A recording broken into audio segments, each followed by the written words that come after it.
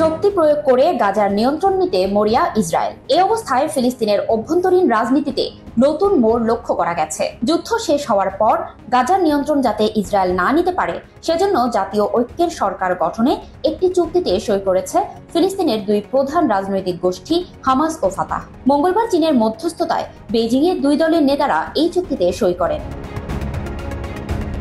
এ বিষয়ে চীনের পররাষ্ট্রমন্ত্রী ওয়াং ই বলেন তিন দিন আলোচনার পর ফিলিস্তিনের প্রধান রাজনৈতিক দলগুলো একটি গুরুত্বপূর্ণ চুক্তি করতে সম্মত হয়েছে। এই চুক্তি গাজা শাসনে গুরুত্বপূর্ণ ভূমিকা রাখবে।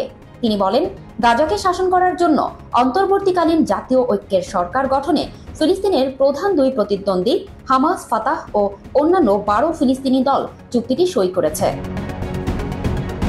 চুক্তিতে সই করা চোদ্দটি দলের মধ্যে একটি প্যালেস্টাইন ন্যাশনাল ইনিশিয়েটিভ। এই দলের মহাসচিব। সত্যি? আমাদের নিজেদের হোটেল? হ্যাঁ ইডেন বে আমাদের নিজেদের hotel. Any time check in any time check out Eden Bay a concern of Bhaiya Hotels. Mustafa Barghouti আল জাজিরাকে বলেন, চুক্তিটি সাম্প্রতিক বছরগুলোতে উপনীত হওয়া অন্য যে কোনো চুক্তির তুলনায় ভালো ও সুদূর প্রসারী। এই চুক্তির প্রধান চারটি উপাদান হল একটি অন্তর্বর্তী জাতীয় ঐক্যের সরকার প্রতিষ্ঠা, ঐক্যবদ্ধ ফিলিস্তিনি নেতৃত্ব তৈরি করা, প্যালেস্টিয়ান ন্যাশনাল কাউন্সিল নির্বাচন ও চলমান ইসরায়েলি অভিযানের মোকাবিলায় একটি ঐক্যবদ্ধ লড়াইয়ের ডাক।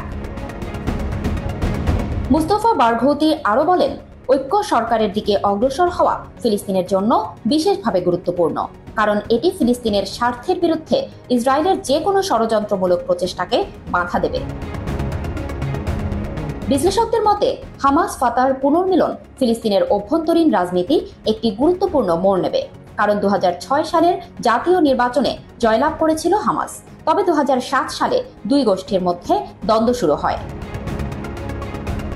এর পরপরই মূলত তারা একে অপরের তীব্র প্রতিদ্বন্দ্বী হয়ে ওঠে। এক পর্যায়ে হামাসের নেতৃত্বে গঠিত ঐক্য সরকার ভেঙে দেন ফিলিস্তিনের প্রেসিডেন্ট ও ফাতাহ নেতা মাহমুদ আব্বাস। এরপর গাজা থেকে ফাতাহকে সরিয়ে উপত্যকার পূর্ণ নিয়ন্ত্রণ নেয় হামাস।